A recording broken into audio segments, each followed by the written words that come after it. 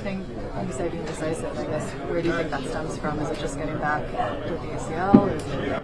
Uh, yeah, I mean, I think. Um, you know, I think just, just playing and playing fast, trusting it.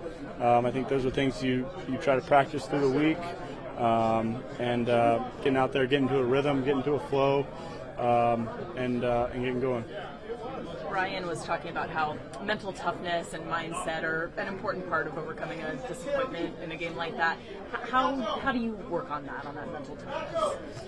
Um, yeah, I mean, I feel like I've been doubted plenty um, for a long time and dealt with that uh, time and time again and, and uh, done a good job with it. So I'm not, I think my mental toughness is in a good spot and uh, I'm not concerned about that. You've taken a lot of hits in your career. At any point, does that take a mental toll on you when you're in the pocket?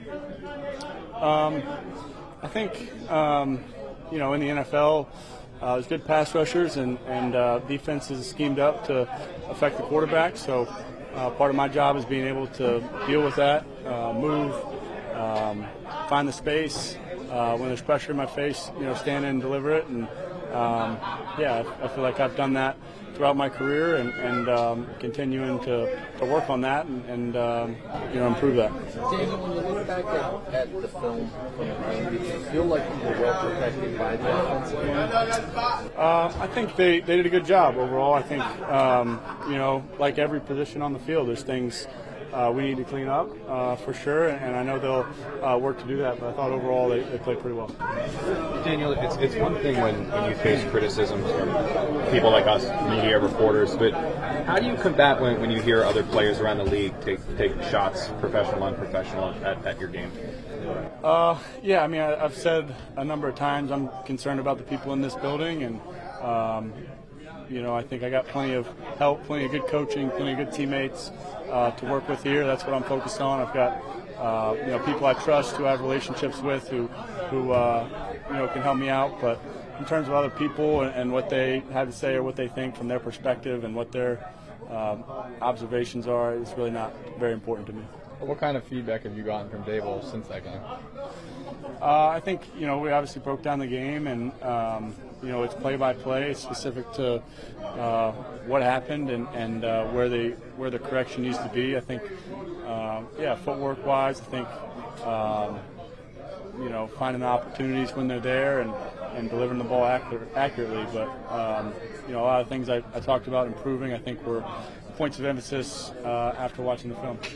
Do you think some of the criticism has almost crossed the line? Um, there was a video that the fans waiting at the players' exit to heckle you. you know, some of the criticism almost crossed the line at this point. Um, yeah, I mean, I'm not, I'm not uh, fan. You know, they're they're upset and frustrated, and uh, we're frustrated too. So I understand that. I'm not easily offended. I understand, um, you know, how it works, and uh, no, I got to play better. We all got to play better. Danny, you've said all along that confidence is not a problem that you've had, and you, you feel as though you're confident in your ability. Um, do you think what went wrong on Sunday is not necessarily confidence, it's more technical, like you said, you see footwork, you think, see things that maybe you should have done differently from a fundamental perspective um, that didn't go right? Yeah, certainly. I think um, fundamentally, been some things to clean up, and, and uh, just seeing it, trusting it, decision making. I think you know all those things. Uh, you know, in any you know in each play, there's certain certain things that come up that need to be corrected. So I'll look to do that. I think um, confident in my ability, uh, confident in, in uh, my ability to go out and execute, and uh, look forward to doing that on Sunday. Daniel, there's a new regime in Washington. From just the one game of tape that you've seen, are there any significant differences that you notice in the defense? Uh, I mean, it's a different system. I think you can tell. Uh, you can tell it's a different system. Uh, do some different things. Um, you know, I, I, guess there's some similarities in, in, the personnel and the carryover, carryover there. Um, but yeah, different system for sure. So we'll prepare for it. Uh, you know, accordingly. Tim, you talked about the fundamentals of footwork a couple times. This is your sixth year in the league is that something that's that's a constant battle, or, or something that was kind of a new issue? Uh, I think it's something you're always working on. Uh, I think you're always, uh, you know, trying to, to zero in on your fundamentals and make sure those are clean. I think, um, you know, getting back in a game situation and, and playing, um, you know, for the first week, I think, you know, there's going to be things like that you need to address, and, and I'm certainly uh, working to do that. I think, um, you know, when I say footwork, it's not always a purely uh, fundamental. You know, can I, can I take a three-step drop? I think it's specific to uh, certain plays. It's specific to the rush. It's specific to uh, where the throw needs to be. Um, you know, so that's uh, there's a fundamental aspect to, to it, but there's also a specific aspect to the to the play.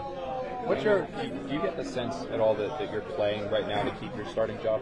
Is that on your mind at all? I'm playing to playing to win games. Um, playing to lead the team, uh, lead the team to score points and win games, and that's always been my focus. Um, and uh, you know, I know I can do that. I just got to got to do it. Got to do it well.